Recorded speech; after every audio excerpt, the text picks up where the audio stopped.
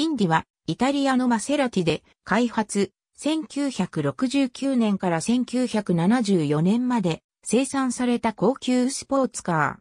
ー。1968年、トリノモーターショーはビニャーレブースにて4シータークーペコンセプトのプロトタイプ発表。マセラティ得意の V8、FR、レイアウトを基準にしたものだった。1969年、ジュネーブモーターショーにてマセラティインディとして発表。名前は、インディ500を1939年1940年と2年連続、マセラティが制したことを記念して付けられた。デザインは当時カロッツェリア・ビニャーレに所属していた序盤に、ミケロッティ、設計はジュリオ・アルフィエーリ、ボディ製作をビニャーレが担当。ギブリの4シーター版という位置づけで、2ドアクーペでありながら、大人4人が乗れる。ボディはギブリと同じくファストバックスタイルカットオフテールロングノーズにリトラクタブルヘッドライトを備えるが全体的に非常にゆったりした伸びやかなラインで構成され大人4人が乗れる2ドアクーペとしてまとまったフォルムを作ることに成功している。フェラーリ 365GTB、4なドライバル車と比してもラグジュアリー色が強く、まさしくグランドツーリングカーとしての仕上がりを見せる。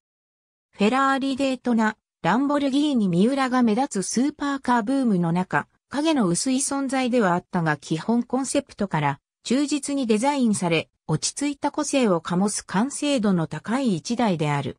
内装は総側張り、ラグジュアリーカーらしく豪華で居住性に配慮され、高級車として高い質感を保っている。ハンドルは、ナルディ製、パワーステアリングを装備し、チルト機構を持ち、メーターパネルは各式エンジン周りのメーターの他アナログ時計を装備し、パッセンジャーシート側のダッシュボードにまで専用アナログ時計を配するなど徹底している。リアラゲージスペースは509リットルもの容量がある。エンジンは 4136ccV8 をフロントに積み、最高出力 260A 馬力、5500rpm、最高速度時速 250km、ZF 製5速 MT を開始後輪を駆動する。1970年、トリノモーターショーにて、アップグレードモデルを新たに追加する形で発表。エンジンは4.7リットルに拡大、電子制御イグニッションを装備し、最高出力 290A 馬力、最高速度時速 265km に向上した。デザインも内装、シート、ボディともに見直され、ボディはよりスマートに、インテリアは装備が充実する。1971年、北米仕様をインディアメリカと改名。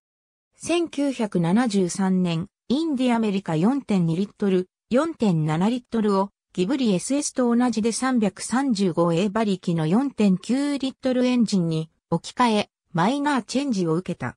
排気ガス規制クリアのために 320A 馬力にパワーダウンし、最高速度も時速 280km に止まった。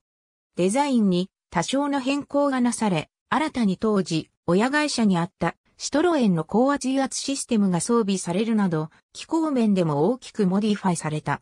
1975年生産終了。総生産台数1104台。ありがとうございます。